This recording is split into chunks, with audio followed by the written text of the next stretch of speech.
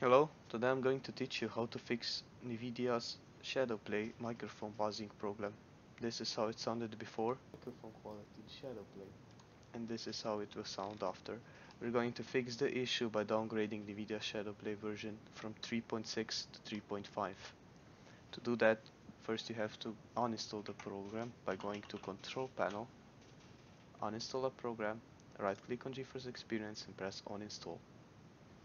When your program has finished uninstalling, you, if you want to, you can restart your PC. And then you go to the video's description and comments where I'm going to have a link to the old GeForce experience. You will click on the link and the program will start downloading automatically.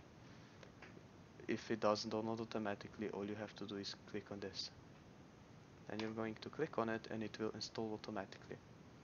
After it has finished in installing, you will have the old GeForce experience which will sound normal but not like the updated one that they have ruined. Make sure that you have everything configured correctly in the settings like you did before like recording buttons and for how long it will record. That is all you have to do and I suggest sticking to the 3.5 version until they come out with the 3.7 because 3.6 version sounds like garbage.